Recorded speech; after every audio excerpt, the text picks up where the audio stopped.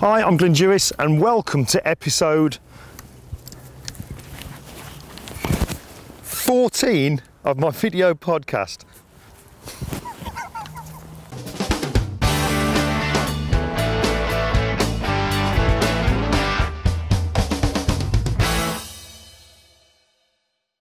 Okay, so this week, what I want to do is show you two techniques. In fact, no, maybe one technique, but two uses for it. You see, one of the things I absolutely love about Photoshop is how you can play, you can have fun, but those techniques that you play and have fun with have also got like a real world retouching scenario where you can actually put them to use. And that's what I want to cover. Cover. I want to actually show you first of all how you can create a beard on somebody, but then use exactly the same technique to enhance eyes and make eyes that have kind of like lost their detail. Use it on those to make the eyes really, really stand out, which is obviously really important when we're doing portrait shots. So let's just first of all in this part show you how you create the beard. Now I've got a picture of my buddy Dave Clayton here. It's not the best picture of Dave, but it's perfect for this particular technique. And let's face it, if you've got a picture of Dave on your hard drive, you've just got to do something with it. So let's just use this one because it's a great way to show you. So what I'm going to do then, first of all, oh, first of all, before I actually kick off, just want to mention that the technique I'm going to show you now it's one that I actually learned from a guy called Steve Caplin, a very, very well known retoucher based in the UK who does a lot of work for the newspapers. And Steve's got some great books out there. And this technique is in one of his books called How to Cheat in Photoshop. If you haven't seen it, I highly recommend you take a look at it because it's got loads of techniques in there that are great fun, but also lots of techniques and learning points in there as well, which will really help with your development and how you learn Photoshop. And I've always had a look at those books ever since they started. So let me show you this technique. This is how Steve did it. Here's our picture of Dave. And what I'm going to do is I'm going to first of all uh, create a blank layer. Now, I need to paint the shape of the beard first of all onto Dave with a grey, 50% uh, grey. And the way I do that is first of all, you'll see over in my toolbar on the left hand side here, my foreground and background colour are set to their default of black and white. So to get 50% grey, I'm going to click on the foreground colour, my black, and here you can see it says HSB, which is my hue, saturation and brightness. If I change the brightness to 50, that then gives me a 50% grey. And you can see that in the upper part of this segment here where we've got our new colour. So I'm going to click OK. Then I'm just going to get a brush and I'm going to make sure that I'm painting with the brush. Let's just make sure the settings, it's 0% hardness and I'm just going to adjust the size of it using my left and right bracket keys. So all I'm going to do first of all then is just paint a rough shape of a beard on Dave. I don't have to be worrying about being too accurate with it because I can always shape it a little bit later after it's been painted in. So let's just paint the beard in there and we'll come in and give him a bit of a moustache shape as well. Now obviously if we're doing work in Photoshop we want to work non-destructively so I would probably use a mask when I'm doing this now but for, just for speed and that's the only reason I'm just going to use an eraser, eraser here, a razor brush just to paint it away. So let, let's just quickly shape it, take it off his ears although I have noticed the older I'm getting I'm getting hair in my ears uh, but we'll take it off Dave just to be polite. So let's just remove it off here, shape it a little bit on the side there so he's got those sideburns, like so. And I might add, just a little bit more on this bottom part here. So that's his beard. The next thing I'm going to do is go to the filter menu and choose noise and add noise. Now, the kind of noise that you want, in the noise filter here, we can I'm using CC, Photoshop CC, we can go way up to 400%. I reckon around about 200 would be enough for this. But the kind of look you're going for is, I don't know if you guys remember, but years ago when it got to the end of the TV, at the end of night when all the programs had finished, you get that kind of like shh kind of noise when you say goodnight from the BBC. And you'd end up with this kind of like patterning, this noise here. That's the kind of look you want to go for. But around about the 200% mark is absolutely fine and then click OK. Now the crucial part when you're doing this, the next thing is you're going to get an elliptical marquee from the toolbar on the left hand side. Now where that is, it's the second option down and when you click on the out, down arrow you get like a few extra little marquees that you can use and it's the second option. I'm going to hold down my shift key and drag it out to around about that kind of size. And then once I've dragged it out, I'm going to get my space bar where I can move it around. And I'm going to put the middle of it so that I'm going to, I'm going to sort of say that maybe the moustache area is the middle. I want to put the middle of my marquee over and then let go. So now anything that I do within Photoshop will only happen within this area. And this is important, certainly when we now do some blurring. So the next thing I'm going to do then is go to the filter menu, go to blur and then radial blur. Now, when you choose this by default, you'll probably notice it's set to spin. And this is the one that a lot of people will use when they're trying to maybe make it look like uh, wheels on a car are spinning when they've originally photographed it still. You can add this radial blur here to make it look as if the wheels are spinning.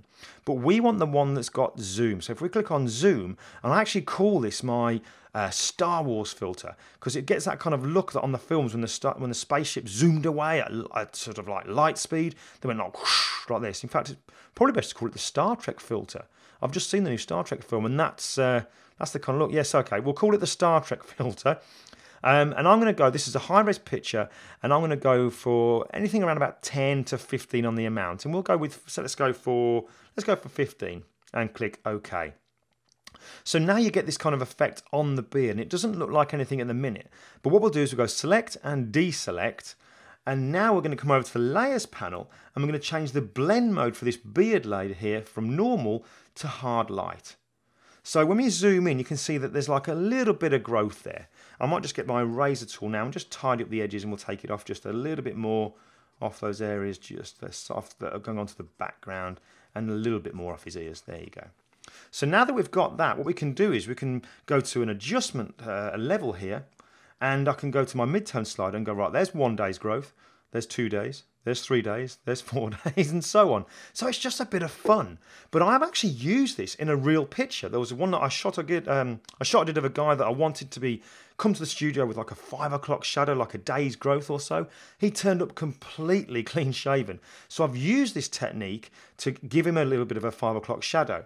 I suppose when you're really, really close up, it doesn't really look that realistic. But if you're using this on like a, a three quarter length shot or a full length shot, you could certainly, as Joel Grimes says, sell the fake and make it look as if he did have some stubble. But you can really have some fun with this. There's a little bit of a beard, and then you could be really cool and then go to the colorize with the hue and saturation here. Make sure we add it to a clipping mask. So Photoshop only affects the layer directly beneath, which is the beard, and then give Dave a bit of a tint to his beard here as well. In fact, between you and me, I think this is the colour that Dave's beard goes when he grows it, but I didn't tell you that.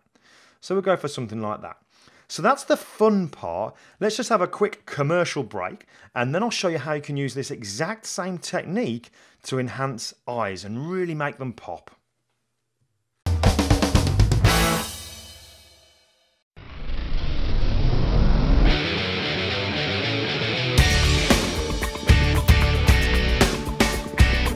Hi guys, I'm Glyn Dewis and I'm a photographer, retoucher and trainer from the UK.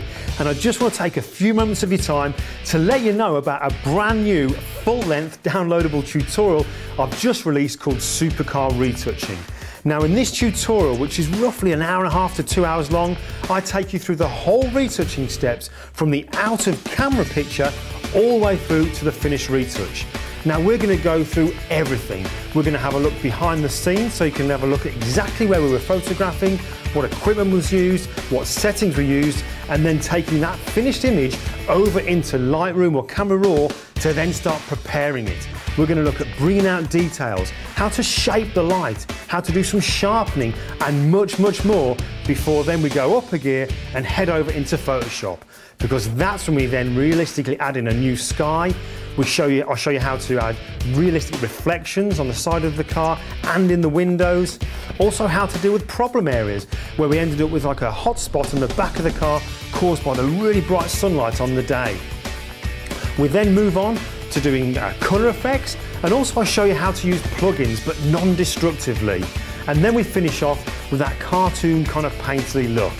Now included in this tutorial are the raw files, so you're also going to be able to carry on and do these steps yourself. You also get a full layered Photoshop file amongst other things within this download. There's a couple of bonus videos in there as well. You'll also be able to take all these retouching steps and use them on your own images, just like I have in this picture here of an Aston Martin V12. So guys, that's supercar retouching, available now on my website, glyndewis.com.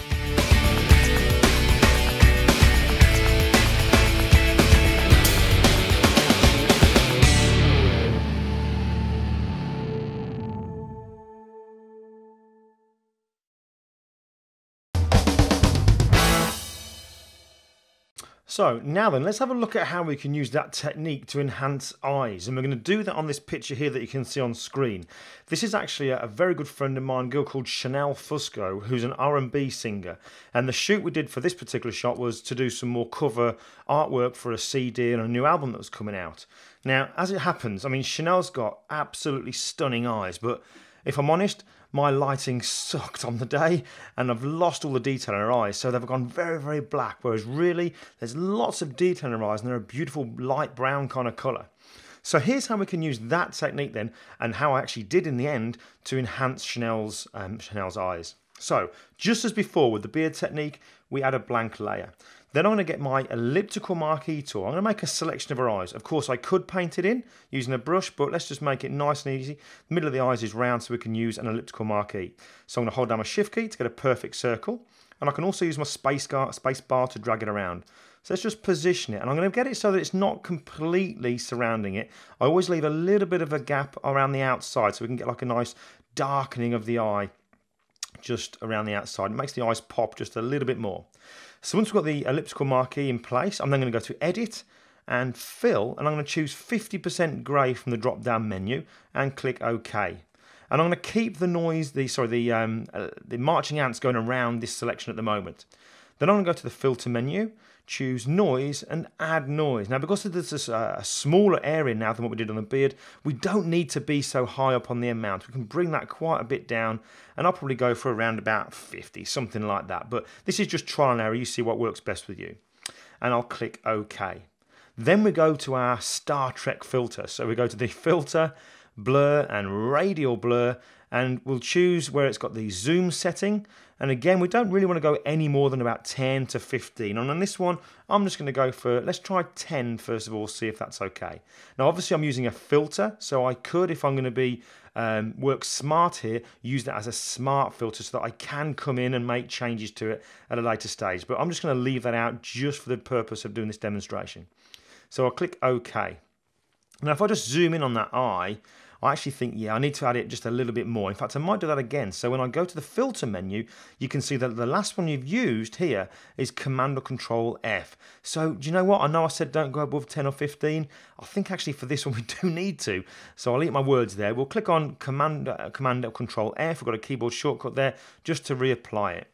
So that's the filter applied. We can now go to select and deselect and then we can change the blend mode over here on the layers panel. Over on the right hand side, we'll change the blend mode of this layer from normal to hard light. So straight away you can see you get this kind of like textured effect within the eye. Now at the moment that looks a little bit too much, but you can see if I kind of jump ahead at the moment, if I reduce the opacity, we can see we are, like Joel Grimes says, selling the fake. And we're kind of creating that fake texture that you see within an eye. But we'll keep it at 100% just for now, because there's a couple of things we need to do. Obviously, we need to take it off certain parts of the eye. Now, because we also want to maybe do this on the other eye, what we are going to do is use a layer mask. And then I'm going to get a brush and I'm just going to reduce the size of my brush using my left bracket key and I'm going to paint in black just to remove it off the uh, eyelashes there and maybe just a little bit on the bottom. Sometimes I actually go round the outside of it just a little bit just to soften that edge down so it kind of blends in a lot more naturally with the eye. And of course we need to knock out the middle of it just to allow the pupil to show through just there. So there we go. Now we can lower the opacity and you can see that we've already started to add some detail into the eye. But we can actually take it a stage further, like we did when we added that colour onto the beard we did with Dave. So I can now go to a hue and saturation adjustment layer. Now I need to make sure that I click on colorize because if I don't click on colorize, when I, in fact, first of all going to click on colorize. The most important thing is, just backtracking for a second, is this thing down here, this clipping mask. Because you'll see, once I first of all click on colorize, the whole of the picture has color applied to it. But obviously I only want the color to be applied to this texture that I'm applying onto the eye. So what I can do is I can say to Photoshop, only affect the layer directly beneath you. And we do that by adding clipping masks. Two ways we can do that. One way is to actually use the icon here in the properties dialog box here for hue and saturation. We can click on that and you'll see now we get this little downwards facing arrow, which means that this hue and saturation is only affecting the layer directly below. Now, if you can't find that, for some reason you can't find it, depending on what version of Photoshop you're using, you can also add a clipping mask by putting your cursor in between the two layers that you want to work on. And then you hold down your Alt or your Option key. And you'll see this little icon popping up if you look over to my Layers panel now. When you click, then it also adds that clipping mask there. So now we can come in and we can change the colour. You can see I can use this slider now to affect the colour of her eyes. And I'm probably going to make this a little bit stronger just so you can see it clearly on the video. So we'll go for something around about there. And let's just zoom out. So you can, what we'll do is, again, keep everything nice and tidy. We've got two layers here that have worked on this eye. So I'm going to hold down my shift key now to click on the layer below and then go to the flyout menu at the top of the layers panel and choose new group from layers. And I'll call that I1 and click OK. So now you can see I can turn that group on and off like so, so you can see the effect.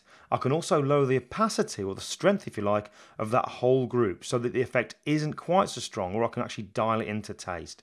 But the great thing here is as well, I don't need to repeat all those steps to do the other eye. All I need to do is press Command or Control J to duplicate that, that group there that we've worked on the eye, get my Move tool from the toolbar and drag it across.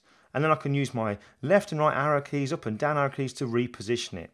Now, because we, we used a layer mask initially, let's just close this out of the way here. Because we used a layer mask, if you find there's areas where you, you've got like um, maybe the eyebrow is maybe, oh, sorry, the eyelashes are a bit low and you need to paint in some of the effect because it's missing, because we use this layer mask just here, we can paint in a white or a black brush to bring some of that texture back or to remove it where we don't want it. So there you go, that's just two techniques in one really there, using one technique to add a beard, showing you how we can also use it to enhance eyes, because let's face it, when we're working on portraits, we really need those eyes to pop.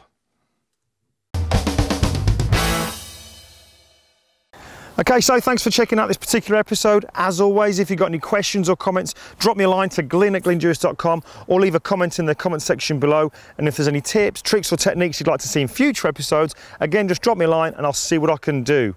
Now, as for subscribing, you know the score. Make sure that you click on the subscribe button, which is around about in this area here. And from then on, once you've clicked it, you'll never miss out on any videos that I post on my YouTube channel. That'll be this kind of weekly show that I've got or any extra videos, reviews and extra little tips and tricks tricks I also post out as well. Um, but that's it. That's about it for this week. I'm going to go for a walk now. So uh, whatever you're up to, have a good one, and I'll see you next time.